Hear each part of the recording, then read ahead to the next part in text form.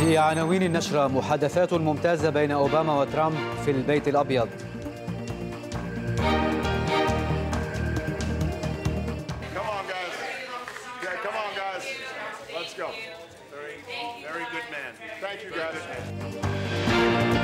تأليف الحكومة على النار واتفاق التيار القوات لا يلزم الحلفاء. اتفاق نحن ملتزم فيه؟ بس في اتفاقات أخرى مع ناس ثانيين بدهم يكونوا بالحكومة. ممكن ما يكون عندهم ذات الرأي أو ذات التفاهم.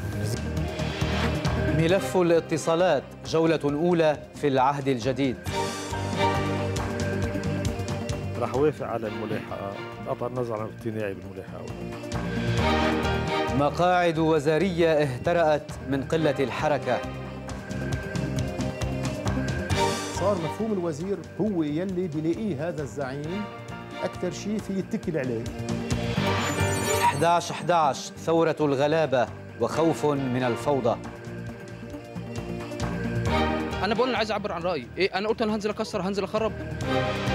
الجديد نيوز تتفوق وتحصد مليون متابع. إذا تحت الشتي مليون كيف لو شمست وأنا بدي أشكر هالمليون شخص فردا فردا. ميرسي لكل follower من المليون followers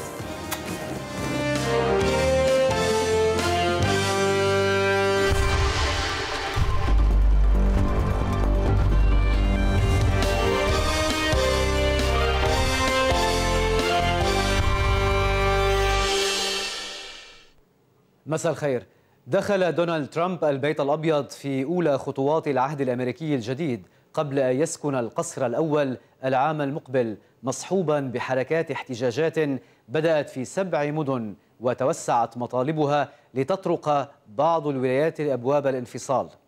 لكن أعمال الشغب ظلت تحت السيطرة ولم تتعدى حرق الأعلام المترافقة وعبارة لست رئيسي. وفيما كان ترامب يتسلم أول المفاتيح الرئاسية من الرئيس الحالي باراك أوباما لبنان يجاهد ليسابق عهد ترامب تأليفا وتشكيل إدارات. وقال رئيس الحكومة المكلف سعد الحريري إذا عملنا بسرعة فستولد الحكومة قريبا وأنا متفائل مثل جميع اللبنانيين. تفاؤل الحريري رهن بتفاهم الكتل الرئيسة على الحصص الوزارية ليبني على الوزير حقيبته. إذ تسجل التداولات في العملة الوزارية هبوطا وارتفاعا وعدم استقرار في اليوم الواحد.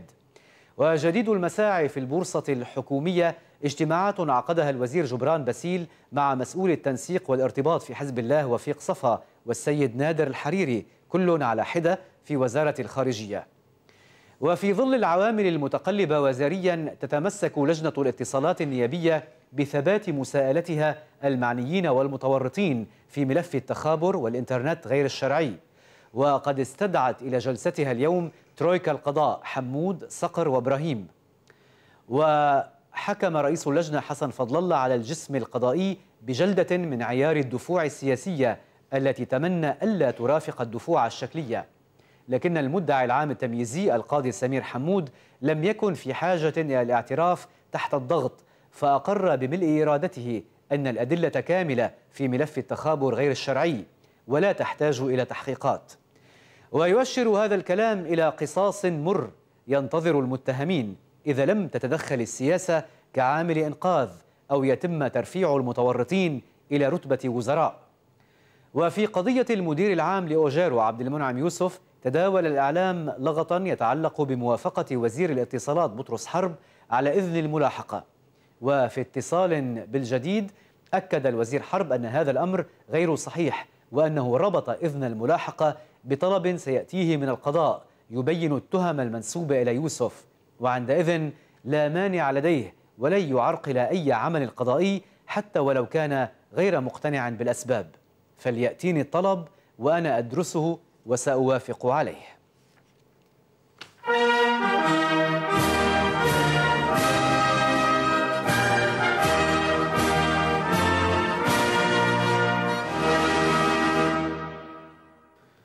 من المكتب البيضاوي في البيت الأبيض الرئيس باراك أوباما يتعهد لخلفه دونالد ترامب بمساعدته على النجاح ويرفض التقاط الصور التذكارية التقليدية معه.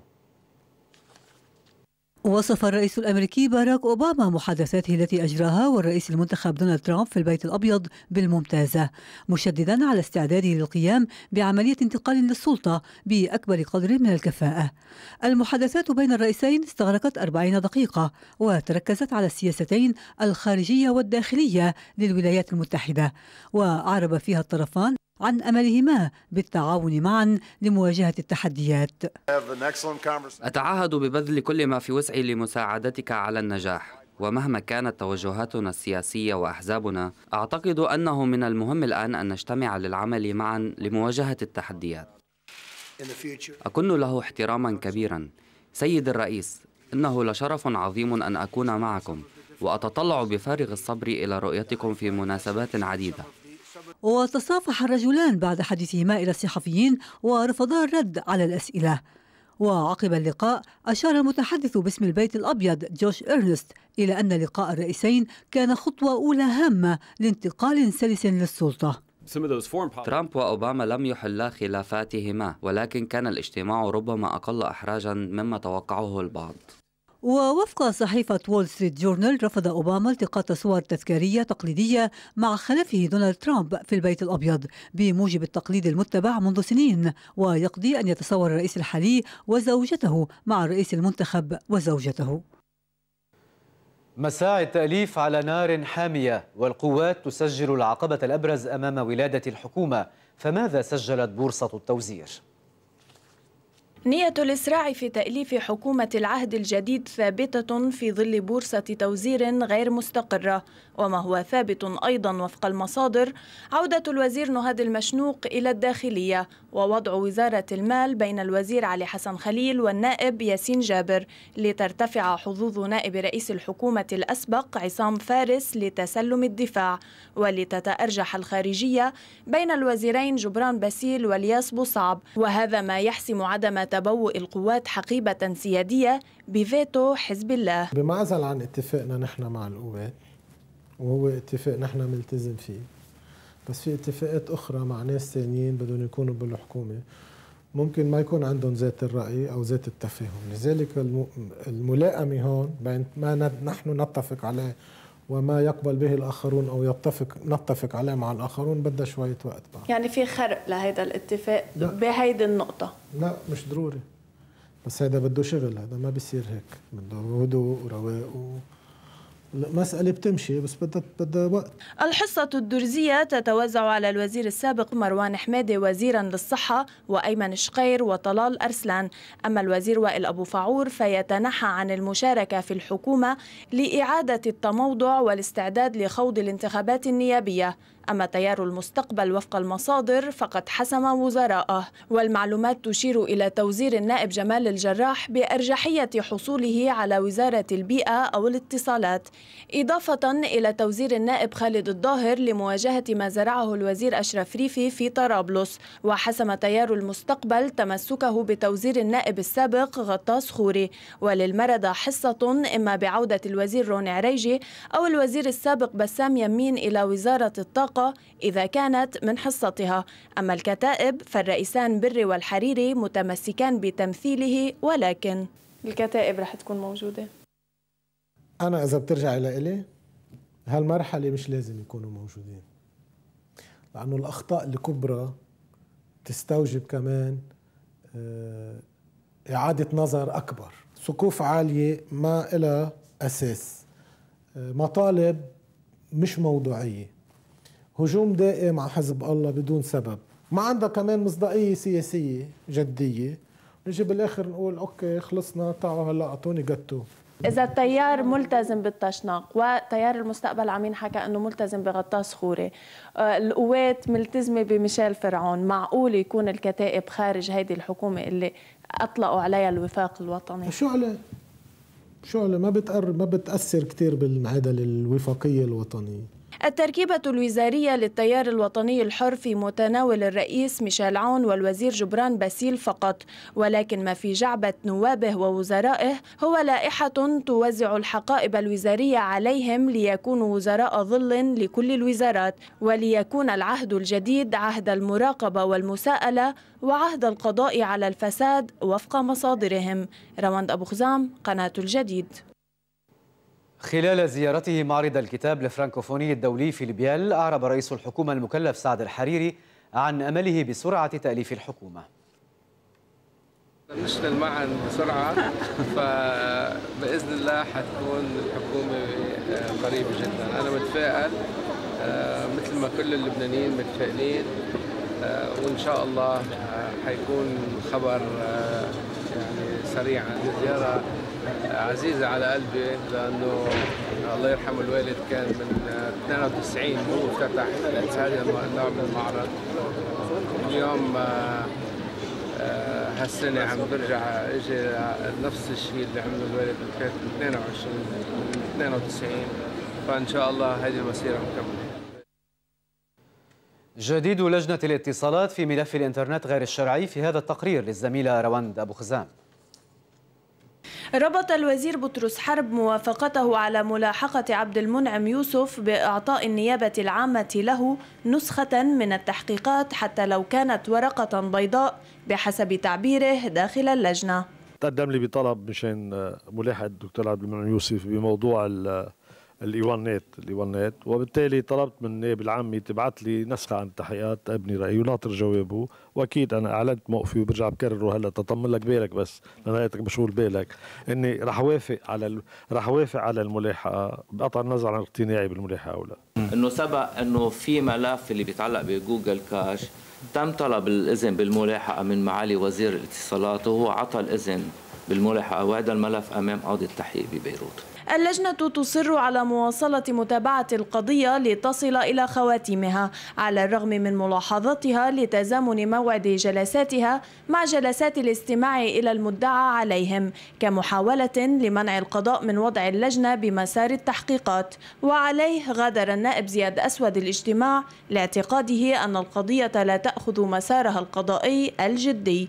أنه بعض الزملاء النواب اليوم طرحوا إشكالات وطرحوا هواجس وهل بالإمكان أن نصل إلى النهاية المنشوده في هذا الملف؟ وأنه هذا الملف أخذ وقت طويل وأنه كان لازم من فترة يحسم بمحاسبة المتورطين. وأنه هل مع الدفوع الشكليه التي تقدم للقضاء في دفوع سياسيه عم تحمي حدا من المتورطين أو حدا من المتهمين أو حدا من اللي عليهم شبهة؟ المدعي العام التمييزي القاضي سمير حمود أكد أن التحقيقات تجري على أربعة مسارات وأن القضاء لم يتباطأ في إجراءاته إلا أن المدعى عليهم مارسوا حقهم في تقديم الدفوع الشكلية كسبا للوقت. النتيجة اللي نحن أعطونا إياها لهلا ولكن هيدي نتيجة منا نهائية هيدي النتيجة بتطمن إنه لهلأ بعد ما في شيء ثابت إنه في تجسس الإنترنت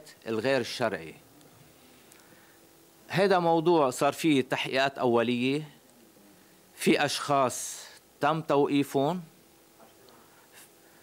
وفي هالملف انقسم لقسمين. قسم موجود أمام قاضي التحقيق بالشمال. أكيد في أشخاص موقوفين وأشخاص غير موقوفين تم الادعاء عليهم.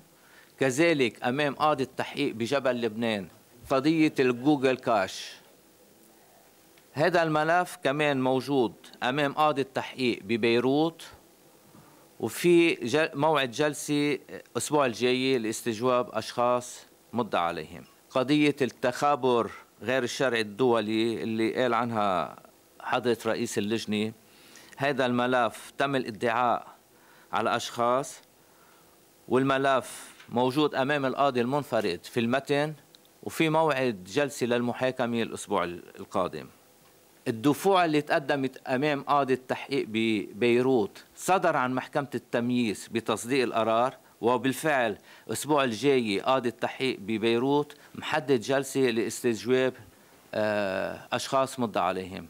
وفي المسار الأخير المتعلق في إدخال المعدات أحيل هذا الملف إلى مفوض الحكومة لدى المحكمة العسكرية الذي ارتأى بدوره التوسع في التحقيق.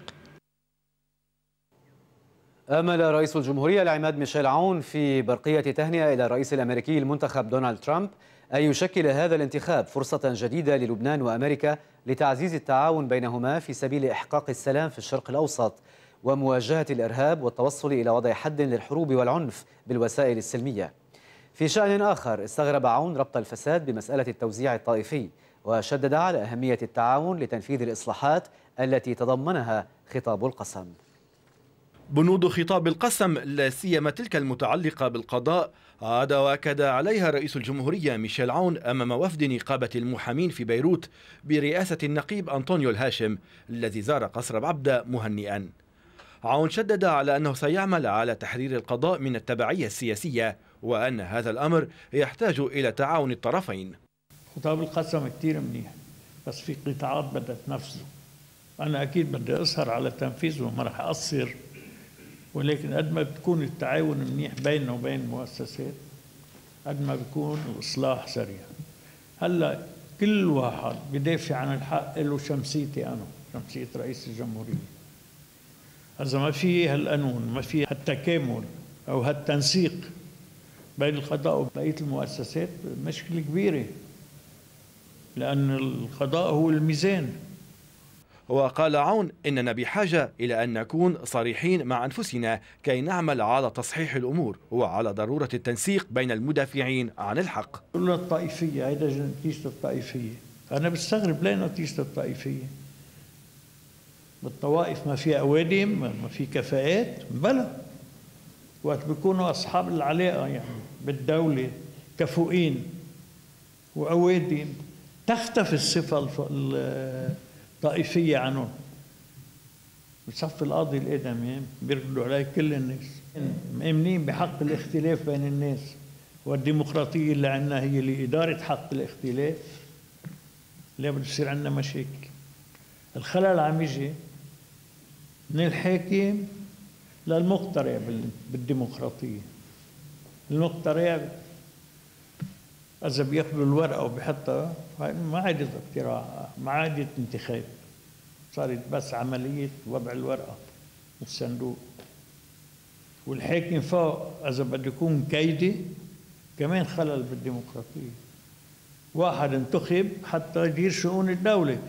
مش حتى يكون كيدي مع موظف منتخبه أو مع قاضي ما خدمه أو ما ما خدمه يعني خلافا للقانون هذا فيما تمنى الوفد تثبيت دعائم السلطة القضائية المستقلة الفاعلة من خلال إحداث نهضة شاملة في الجسم القضائي عبر الإسراع في إنجاز تشكيلات قضائية شاملة وملاحقة الفاسدين في القضاء وفي غير القضاء.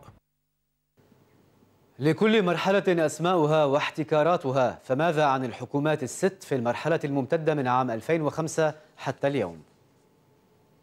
منذ اغتيال الرئيس رفيق الحريري عام 2005 شهد لبنان تأليف ست حكومات رئيسها أربعة رؤساء وتناوب على مقاعدها عدد من الوزراء. واللافت أن بعض أسماء الوزراء تتكرر في معظم الحكومات المشكلة. بدأت لعبة الكراسي مع تأليف الرئيس نجيب ميقات حكومته الأولى. لتضيف حكومة الرئيس سنيورة ثلاثة أسماء وزارية أخرى إلى اللائحة. أما حكومة السنيورة الثانية فأضافت اسمين جديدين هما جبران باسيل ووائل أبو فاعور. وتكرر الأمر في حكومة الرئيس الحريري التي جمعت كل الأسماء التي وردت سابقا. لتأتي حكومتا الرئيسين ميقات وسلام بوزراء اعتاد اللبنانيون وجودهم. ثمانية وزراء كانوا من ثوابت الحكومات المتلاحقة من دون معيار واضح لتكرار توزيرهم. أنشئ بموازاة هالفترة كلها شيء اسمه طاولة الحوار معناتها أنه ركب بحكم الأمر الواقع. هيئة فيها زعماء الطوائف كلهم. يلي هنيك بتتاخذ قرارات. وبالتالي مجلس الوزراء مكون من يا أعضاء بمجلس الحوار يا أما شوي شوي صاروا يشوفوا إنه مش هن بمستوى أعلى إنه يكونوا حوار هن مساعدين يلي قاعدين بمجلس الحوار بهيئه الحوار.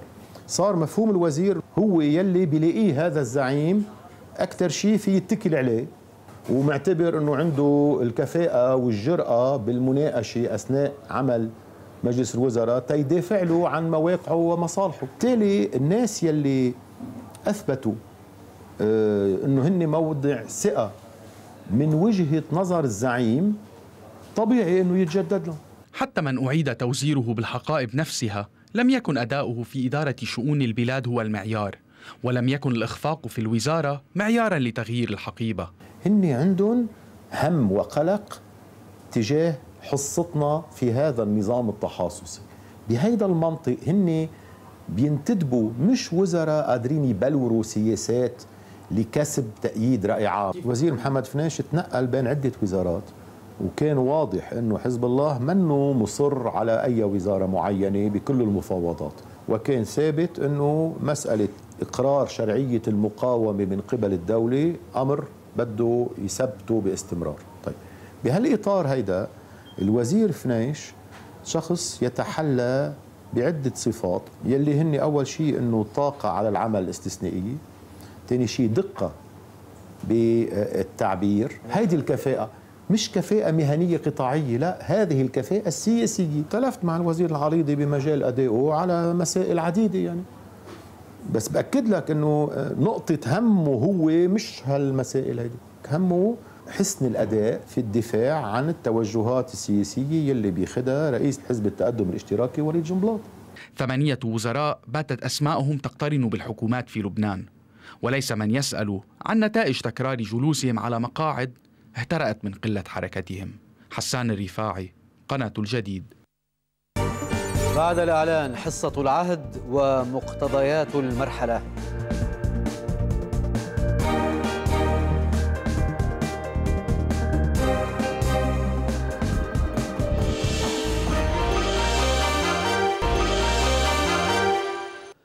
هل يحرم الرئيس عون حصته الوزارية خلافا لأسلافه من رؤساء الجمهورية في العهود السابقة؟ التجاذبات بين الكتل السياسية طلبا للتوزير والحقائب الوزارية لم تستثني رئيس الجمهورية العماد ميشيل عون الذي يخوض منذ نحو أسبوع حربا ما زالت ناعمة حول ما يسمى حصة العهد. إذ ينقسم المشهد السياسي بين من يقول إن حصة عماد الجمهورية يجب أن تكون من ضمن الحصة الوزارية للتيار البرتقالي لكونه مؤسس هذا التيار ومن يقول بوجوب أن يعطى الرئيس حصة وازنة خاصة به على جري العادة خصوصا أن عون بات رئيسا لكل لبنان. فهل من نص دستوري يفصل في هذه المسألة؟ هي كلها تعبير تنتمي إلى الخطاب السياسي. وموازين القوى يلي بتفرض حالها أحيانا على هامش الدستور مش ضده. يعني ما في شيء بيمنع أنه تعطي هالمقاربات. بس هي منا بالدستور. يعني الدستور أكيد ما بيعطي رئيس جمهورية حصة لأنه بيعتبر إنه رئيس جمهورية حصته الحكومة كلها. إذا ما عدنا في التاريخ نجد أن رئيس الجمهورية السابق ميشيل سليمان وعلى مدى ست سنوات كان له حصة وازنة في الحكومات الأربع التي تعاقبت في عهده. تأخذ مثل 2008 هل كان مقصود أن يكون لرئيس الجمهورية آنذاك حصة أو كان مقصود انه يكون هو عنده دور يوازن وقت اللي لازم على مستوى مجلس الوزراء. بظن إنه هذا كان مطلوب مثلا بوقت نتيجة اتفاق الدوحة بوزارة الداخلية لأنه كان في اشتباك بين فريقين ولأنه كان رايحين على انتخابات. كان مطلوب من الفرقاء السياسيين جميعا إنه تكون هيدي الوزارة بين مزدوجين حياديه معطل يعني؟ ما بدي أسميه معطل لا أنا بعتقد إنه المطلوب هو ضمانات أكثر ما هو مطلوب تعطيل. زياد بارود كان من ضمن وزراء رئيس الجمهورية في حكومتي عام 2008 و2009 يعني تعطيكي مثل. أه وقت اللي كان مجلس الأمن عم بيحكي بالعقوبات على إيران. وصل الموضوع على مجلس الوزراء ليعرف مندوب لبنان لدى الأمم المتحدة أه كيف بيصوت مع العقوبات ضد العقوبات أو امتناع. بوقتها كنا 28 حاضرين من أصل 30 وطلع التصويت 14 ب 14 يعني امتناع. يعني ما بنعمل مشكل بالبلد على مع العقوبات أو ضد العقوبات رحنا على امتناع. هذا ال 14 و 14 تدوزن من خلال تصويت وزراء الرئيس باثناءها، إذا كان دور الرئيس عون يتطلب أن يكون هو عم بيوازن بمطرح معين نتيجة التركيبة الحكومية كلها فالدور يستدعي أن يكون له وزراء. إذا ما يسمى حصة الرئيس ليس إلا عرفا وممارسة والدور الذي سيطلع به الرئيس عون في المرحلة المقبلة من شأنه أن يحدد هذا الموضوع. دارين دعبوس قناة الجديد. الدستور لا يحدد مهلة قانونية لتأليف الحكومة والنزاع على الحقائب مستمر. إن كان التكليف الوزاري سهلا وسريعا فمما لا شك فيه أن التأليف لا يكون كذلك خصوصا في ظل غياب مهلة دستورية تحدد فترة معينة للخروج بصيغة وزارية. بالنسبة لمسألة الوقت المعطى لرئيس الحكومة لم يعطي الطائف مهلة معينة لرئيس الحكومة لتشكيل الحكومة. السبب الرئيسي أنه اتفاق الطائف ما أعطاه مهلة لأنه من الصعب إلزامه بمهلة محددة إذا كانت مطالب الفرقاء متنوعة. سيحاول البعض بطبيعة الحال لأنه هي لعبة سياسية أن ينتظر نهاية المهلة لفرض شروط أعلى وأعلى وبالتالي يعني أغلب الظن أن تنتهي كل المهل المحددة قبل ما أنه يصير في تشكيل للحكومة. أما بالنسبة للبيان الوزاري بما أن رئيس الحكومة أخذ وقته في تشكيل الحكومة اللبنانية هون المشرع الدستوري تدخل وقال أنه مهلة 30 يوم تعطى لرئيس الحكومة والوزراء لتحضير البيان الوزاري عرضه على المجلس النيابي للحصول على الثقة. متى حاز على هيدي الثقة؟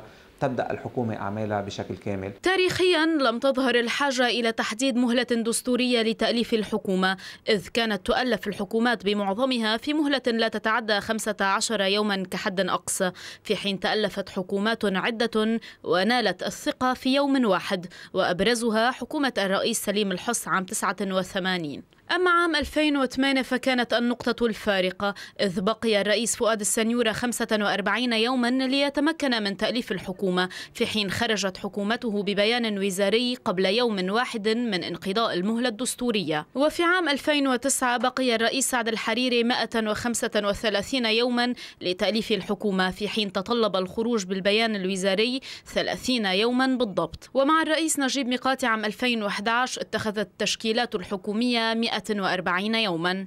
أما المدة الكبرى فكانت من نصيب الرئيس تمام سلام الذي بقي 315 يوما لتأليف الحكومة و33 يوما للخروج ببيان وزاري خارقا بذلك الفترة القانونية التي يحددها الدستور. الحديث عن وضع مهلة للتأليف لتأليف الحكومة هو حديث شيق ومهم لأنه بطبيعة الحال بيسوى أنه يكون في مهلة ينعرف الفراغ أنه محدد. بس مش المهم إنه يتم تحديد المهلة دون أن يكون هناك تأكيد على الالتزام بهيدي المهلة أو أن يكون نتيجة وضع هيدي المهلة فعلا التزام أو إمكانية لرئيس الحكومة بالتشك... بالتأليف. أما القول إنه اليوم إنه ينحط مهلة مثل ما قلت هذا أمر قد يكون ضروري بالمستقبل ولكن مع إيجاد ضوابط للعملية السياسية بتسمح باحترام هيدي المهلة. ستة أشهر تفصلنا عن الانتخابات النيابية المقبلة التي تطيح الحكومة غير أن اشتداد النزاع على حقائب قسمت بين سيادية وخدماتية مع المماطلة في التأليف يظهر أن في الأفق تأجيلا للانتخابات النيابية بذريعة تقنية ووضع قانون جديد للانتخابات على اعتبار أن الستين انتكاسة لبداية العهد. ليال سعد قناة الجديد. هل تشكل مواد القانون المتعلقة بجرم الاغتصاب رادعا كافيا في ظل تفشي هذه الظاهرة؟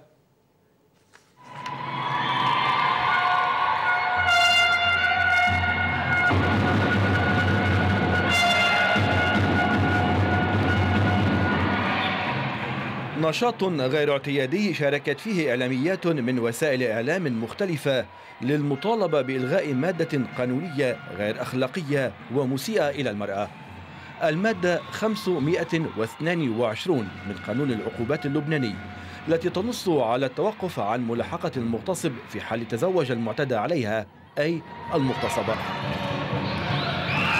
هذا النشاط نظمته جمعية أبعاد لإيصال رسالة واضحة ومحددة. إلغوا المادة 522 في لغة يفهمها الرجال وهي مباراة في كرة القدم تنافست فيها إعلاميات وفريق ساس. آه، هيدي المباراة كانت آه، مشكورات المراسلات اللبنانيات تطوعوا آه، للمشاركة للمشاركة فيها. هن بالعادة بينقلوا الخبر. اليوم هن كانوا عم يصنعوا الخبر. هن عم يخبروا الرأي العام عن هيدي المادة. قد هيدي المادة هي مجحفة بحق النساء اللبنانيات لا للمادة 522 اللي بتسمح للمغتصب إنه يتزوج اللي اغتصبها. جايين نحن نقول إنه نحن اليوم يمكن عم نلعب لعبة محسوبة على الصبيان. بس لنقول لبعض الصبيان اللي عم يتحكموا بحقوق النساء إنه كفوا إيدكم واللي موجودين بمجلس النواب اليوم واجبكم إنه تلغوا هيدي المادة لأنه حق المراه مش أنتم اللي بتحددوا. فينا نلعب فوتبول فينا نلعب كل الرياضات. كرمال هيك لا بدي حدا إنه يستر علي. ولا بدي حدا إنه يشفق علي ولا بدي حدا يشرع الجريمة بحق كوني مرأة لا لتشريع جريمة الاغتصاب. حسيت إنه عملنا شيء للمرأة بشكل عام وللمرأة اللبنانية بشكل خاص. وحلو برهنا لو خسرنا برهنا إنه هذا الشيء منه حكر على الرجال. المادة 222 مادة من المواد المجحفة في حق المرأة اللبنانية. التي لا تتطلب نقاشا بين ممثلي الشعب بل المطلوب والواجب اجتماع المجلس النيابي لإلغائها في أسرع وقت ممكن. دعوات إلى التظاهر غدا شعارها ثورة الغلابة وجماعة الإخوان المسلمين تدعو أيضا المصريين إلى المشاركة. بدأت القصة بدعوات تم كتابتها وتداولها عبر العملات الصغيرة بدءا من الجنيه. والخمسة جنيه والعشرة جنيهات. تنتشر العملات سريعا بين طبقات المجتمع الفقيرة والبسيطة لتجد صدى آخر على مواقع التواصل الاجتماعي. انزل يوم الحادي عشر من نوفمبر الحالي. دعوة عامة للتظاهر تحت شعار ثورة الناس الغلابة في كافة الميادين المصرية. وفي الشارع المصري تباينت الآراء حول مظاهرات 11-11 كما أسماها المصريون إلا أن الهموم على كاهلهم واحدة والتوقعات بنجاح أو فشل هذه الدعوات تختلف من شخص لآخر. في حد لا يأكل دلوقتي في, في, الناس اللي عايشين في مصر حاليا حد يأكل من الناس الغلابة؟ ليه؟ أنا لما اطلع اعبر عن رأيي يطلع واحد يقول لي انت متآمر وانت بتخرب وانت عايز تعمل انت دعاة فوضى وانت دعاة خراب. لأن الحكومة وده علم يقيني ماسكة مقدرات الشعب ده بيد من حديد. وأي حد هتخول له نفسه إن هو يحيد ويروح يعمل تظاهر بدون أي وجه داعي ها؟ سيلام على ذلك. لا مش هنزل. بإذن واحد قاعد هنزل التظاهر بإذن الله وسط هذه الدعوات يفاجأ المصريون منذ أيام بإجراءات اقتصادية وصفها المراقبون بالصعبة. بدءا من تحرير سعر صرف الجنيه المصري أمام الدولار الأمريكي والعملات الأجنبية الأخرى بالإضافة إلى رفع الدعم عن الكهرباء والمحروقات.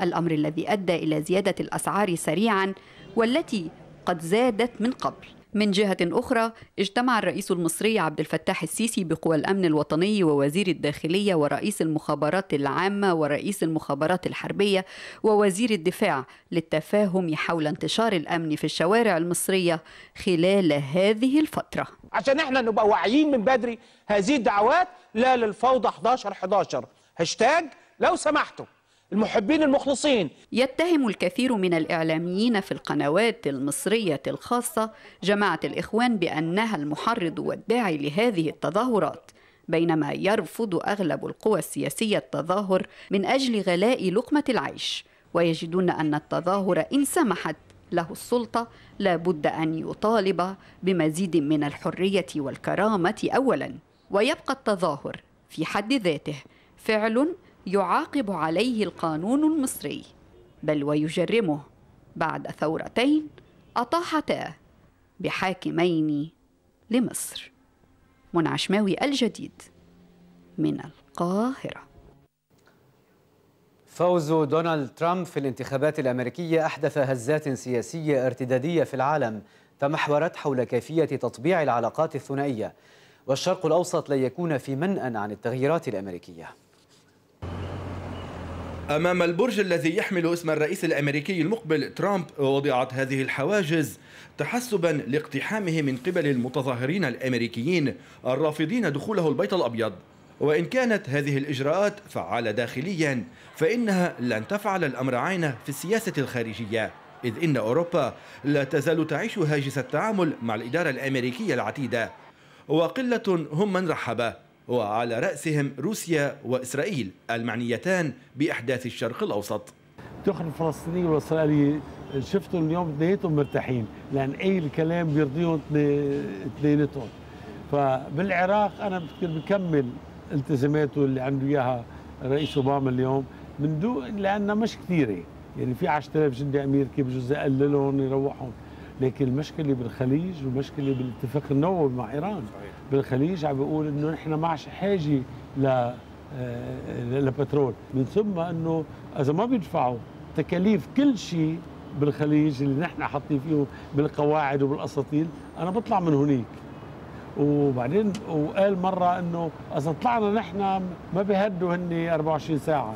وإن كانت المفارقة أن يكون الرئيس الروسي فلاديمير بوتين أول المهنئين والمحتفين بانتخاب دونالد ترامب فهذا الأمر لابد أن تكون له انعكاساته الإيجابية على مسرح الصراع السوري. الزرسون لازم يكون مرتاح روسيا مرتاحة لأنه هو بده يشترك معهم بمحاربة داعش. ما فرق معه إنه أنا ما فرق معي مين بيحكم سوريا هيدي مش شغلتي. أنا المهم إنه بدي أتحالف إنه أي واحد أو الشيطان حتى حتى حارب آه، داعش. اليوم إذا أنا الرئيس الاسد بكون مبسوط من انتخاب ترامب. لأن لا بدي ما بدي شيء منه أنا. أما لبنان الذي يعد الدولة السادسة على جدول المساعدات الأمريكية العسكرية وفي أسفل جدول الاهتمامات الدولية سياسيا على الرغم من انتخاب رئيس للبلاد إلا أنه يأمل أن تبقى الأمور على حالها إن كانت المؤشرات إلى أن تراجعا سيصيب العلاقات الأمريكية العربية. لبنان الولايات المتحدة ما أظن رح يغير السياسة الحالية. الولايات المتحدة وروسيا السعودية وإيران كلهم بدهم استقرار بلبنان. المهم نحن نعرف كيف نلقط هالقصة ونعمل لحالنا استقرار وسيادة بهالبلد هيدا. لأن الكل بده استقرار اصطفلوا ببعضكم بس اتفقوا أما الخوف الأكبر فيبقى أن تمتد هذه الظاهرة إلى سائر الدول الأوروبية في ظل تصاعد حركات اليمين التي من دون أي شك سيكون لها التأثير المباشر في الشرق الأوسط وأحداثه. باسل العريضي قناة الجديد. بعد الإعلان إليسا ترضخ للأمر الواقع.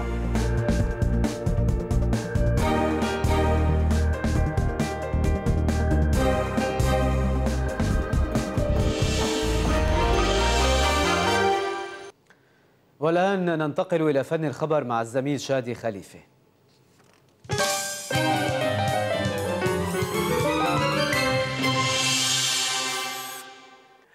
احتفلت النجمة إليسا بألبومها الجديد سهرنا يا ليل وبالنجاح اللي حققه وهالشي منه جديد عليها. ومواقفها السياسية أيضا منا أمر جديد فهي صريحة وشفافة وبتقول رأيها علنا. فشو هو تعليقها على وصول العماد ميشيل عون إلى سدة الرئاسة؟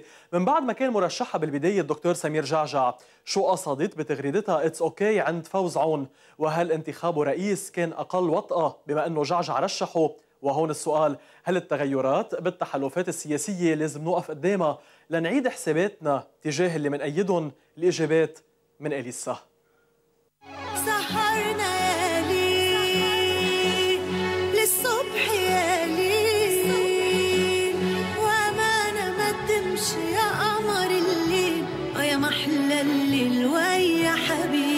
شو بتقول اليوم من بعد انتخاب رئيس للجمهورية من بعد العمل على تشكيل حكومة آه، شو بتقولي؟ رجعت الحياة للبلد أهم شيء نحن كان عندنا دولة بلا رأس رجع رأس الدولة يعني على المكان المناسب على قصر بعبدة بصرف النظر مين هالشخص بس بالنتيجة هيدا رئيس جمهورية وخلص إنه بدنا نكون معه ونشوف شو في يقدم أكثر لهالبلد. آه وبطبيعة ما كان مرشحك صح؟ منه مرشحي ما مش مختلفين. بس هلأ آه صار يعني اليوم صار في انتخابات بأمريكا. اللي بده كلينتون طلع لهم ترامب. so بدهم يرخوا للأمر الواقع بالنتيجه مواطنين وعندهم مسؤوليات تجاه بلادهم. وكمان الرئيس عنده مسؤوليات تجاهنا إنه بوجود رئيس بوجود رئيس حكومة عم بيشكل حكومة. يعني بطل البلد بوضع إنه يصرف أعمال الحكومة. لا صار في عندنا فعليا رئيس وفعليا رئيس حكومة. exactly وبتمنى من كل قلبي عن جد شادي بتمنى إنه آه، يريحونا. يعني نحن عم نريحهم يريحونا ويخلونا هيك يعني ينعشوا البلد شوي. يعني ما عليه الاحتقان خف شوي. لسه it's okay شو كنت قاصده آه، فيها؟ إنه okay. على قد هي it's okay ما, ما في شيء بعدها يعني ما في شيء لها أبعاد. إنه لا كنت مبسوطة ولا كنت زعلانة إنه it's okay خطك السياسي أنت ما بتنفيه آه كان مرشحك؟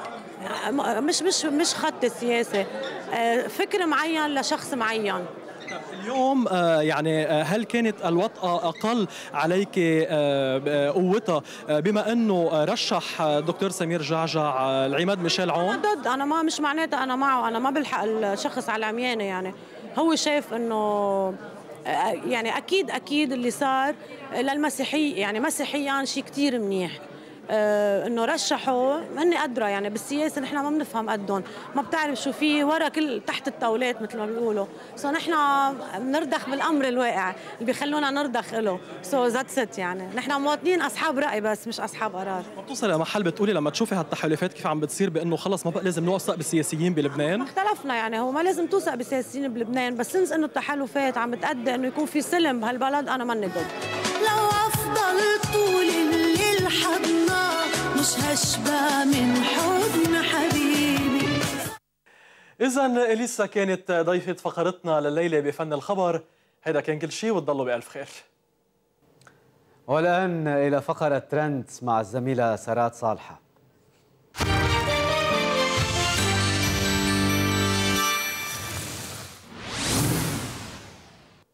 مساء الخير. صدمة فوز دونالد ترامب برئاسة أقوى بلد بالعالم بعدها مش عم تنتهي خاصة على مواقع التواصل الاجتماعي. ومن بعد يوم واحد فقط من انتخاب ترامب مظاهرات منددة عمت عدة مدن أمريكية ترافقت مع هاشتاغ تم إطلاقهم على تويتر وأبرزهم Trump protest يلي حقق أكثر من 700 ألف تغريدة. ضمنت مقاطع فيديو وانتقادات لبعض شعارات حملة ترامب يلي بتحكي عن المهاجرين والمسلمين. أيضا نشط هاشتاج طلب من المغردين يقولوا أربع كلمات بتلخص أربع سنين قادمة. tweets عبرت عن تشاؤم كبير وتضمنت كلمات مثل نهاية العالم هجرة جماعية لكندا الكراهية رهاب المسلمين وحرب عالمية ثالثة. أما عربيا فظهر هاشتاج الفرق بين كلينتون وترامب. عبر فيه معظم المغردين أنه اثنيناتهم وجهان لعملة واحدة وما في فرق بيناتهم. وانتشر مصطلح تفوق أبو لهب على حمالة الحطب. لكن يلي بعد ما انقال أو انعمل على الفوز الكارثي لترامب عملوا موقع تحت اسم ترامب دونالد dot org هالموقع بيسمح لأي شخص حاسس بالغضب الشديد والإحباط أنه يفرغ هالمشاعر عبر ترامب أو بوق بيقدر يطلقه بوجه افتراضي لدونالد ترامب وبيخربط له في شعراته بأي اتجاه بده إياه. البعض وصف هالموقع بالواجب الوطني يلي بيستحق تعطوه دقيقة من وقتكم. أما بالنسبة لوعود ترامب فعلى ما يبدو عم تبلش تتغير وتتكشف حقائقها. وهالشي من بعد ما حذف ترامب وفريقه من ال website الخاص فيه التصريح يلي أطلقه الشهر الماضي ويلي بنص فيه عن منع أي مسلم من دخول الأراضي الأمريكية. وظهر مكانه دعوة بتشجع الناخبين على التبرع لدعم حملة وخطة ترامب. وأخيرا بدي هني جميع متابعين account الجديد نيوز على تويتر لثقتهم يلي حطوها ويلي وصلت للمليون. مليون متابع ومليون ثقة وضعت بصفحة أثبتت جدارتها بقوة وتفوقها على مواقع أخرى تابعة لمحطات منافسة. جديد نيوز حبت تشكر كل متابعينا عبر فيديو خاص. حنشوف مقطع منه سوا. واحد اثنين ثلاثة أربعة خمسة ستة. ميرسي كثير لثقتكم بنحبكم كثير ال 140 character كثير قليل لنشكر المليون follower. 520 521 إذا تحت الشتي مليون كيف لو شمست؟ 1201 1202 وأنا بدي أشكر هالمليون شخص فردا فردا. صرنا الأوائل وقطعنا المليون. نشكركم. zoom in لا. رجع zoom out على الآخر. آه مليون. وبدكم مليون سنة. هلا نحن قطعنا المليون.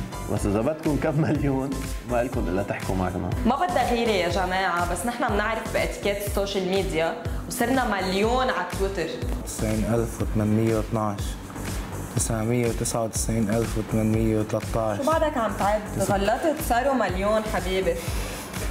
مليون. مبروك و like من Trends للجديد News. أما مشاهدينا نحن وصلنا لنهاية أخبارنا لليلة. لمزيد من التفاصيل وأخبار أخرى تابعونا عبر مواقع التواصل الاجتماعي الخاصة بالبرنامج وعبر صفحاتي على الفيسبوك تويتر إنستغرام وسناب شات. وعلى أكيد ما تنسوا to tag and hashtag Trends حتى نقدر نتبع أخباركم ونقولها بنشرات لاحقة. تصبحوا على خير.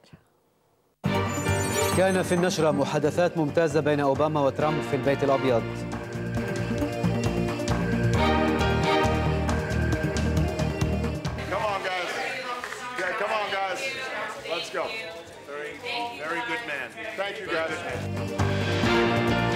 تأليف الحكومة على النار واتفاق التيار القوات لا يلزم الحلفاء.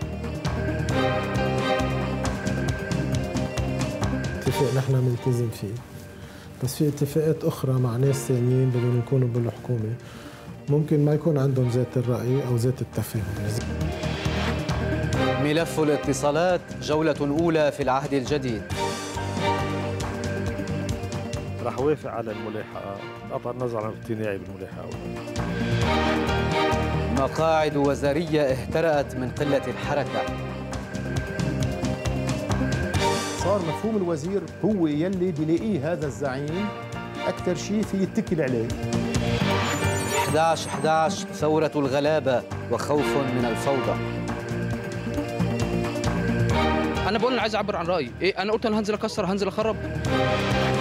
الجديد News تتفوق وتحصد مليون متابع. إذا تحت الشتي مليون كيف لو شمست وأنا بدي أشكر هالمليون شخص فردا فردا. ميرسي لكل follower من المليون followers